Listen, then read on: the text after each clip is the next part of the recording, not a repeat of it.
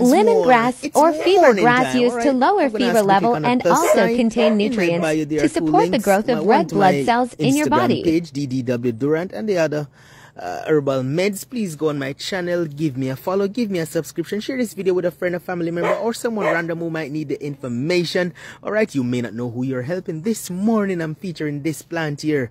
Who know the name of this plant? This plant goes by the name fever grass or lemon grass. It is good to lower fever level, yellow fever, whatever fever it is.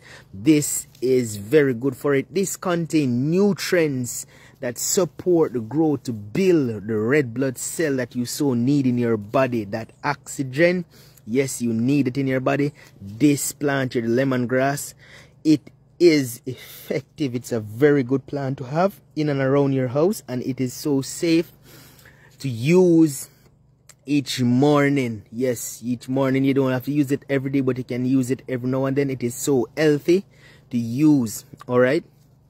Now once more i'm going to ask you to go to my youtube channel give me a follow share the video with a friend. Come on share the video with a friend. You may not know who you're helping